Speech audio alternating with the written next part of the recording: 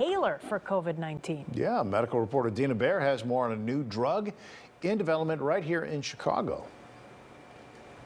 The earliest point of entry is often the nose or eyes. Then SARS-CoV-2 works its way through the nasal passages to the lungs.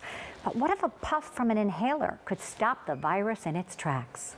Instead of a lab in the shadow of the IIT tower, we met the team of researchers at an adjacent busy intersection. Their campus still closed to visitors, but the shutdown hasn't slowed the science. We're working on a chimeric enzyme uh, that is uh, that has the ability to inactivate the uh, COVID-19 virus. Like so many who pivoted when the pandemic hit, Associate Professor of Biology Oscar Juarez and his colleagues set their eyes on the spikes. So the basic idea is that if we were to inactivate the spike protein, we can uh, stop the infection of the, of, um, of the virus. They're built to bind, most notably to human cells.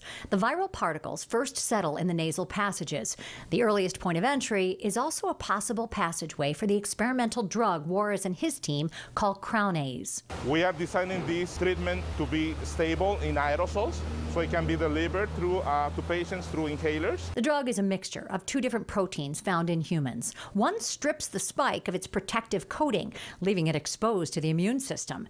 The other, an ACE2 receptor, helps the drug bind to the virus. Together, they dismantle the spikes. It can be prophylactic and then we do not expect that this thing will have uh, any uh, major uh, toxicity or any major um, uh, side effects against patients, even, even the, the ones that are um, that are, that are healthy. The team says Crownase can be inhaled, injected, or swallowed in pill form. One of the things that uh, people are not aware is that we have had uh, in the recent years three different outbreaks of uh, coronaviruses, SARS, MERS, and COVID-19. We were totally unprepared for any of these, uh, any of these uh, diseases, and we have to uh, plan for the future. our treatment can can not only treat different variants of, uh, of uh, COVID-19, but can also be used to treat any other coronaviruses.